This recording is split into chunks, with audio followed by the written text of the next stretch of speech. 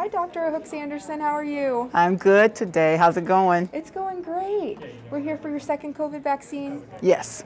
Awesome. I'm just going to clean, okay? Mm-hmm.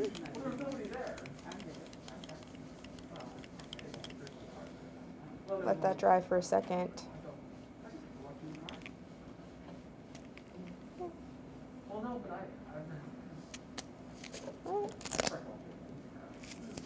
There you are. Wow, that was really easy. Perfect.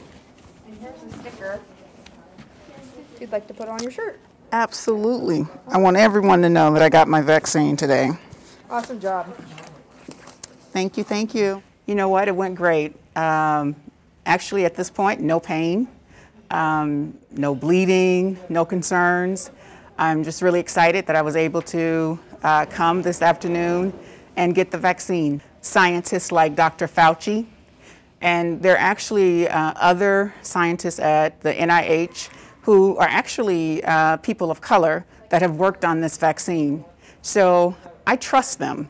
I trust their knowledge because they've been, uh, they've been working on a vaccine like this for years. So the, the technology that's involved in uh, making this vaccine uh, come to fruition, it's not anything that's new. They've been working on the science behind this for years.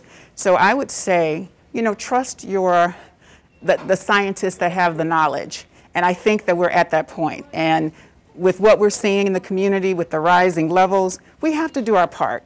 So I encourage you, go out, get your vaccine. If you want more information, cdc.gov is a great trusted source, as well as you can go to your local health department.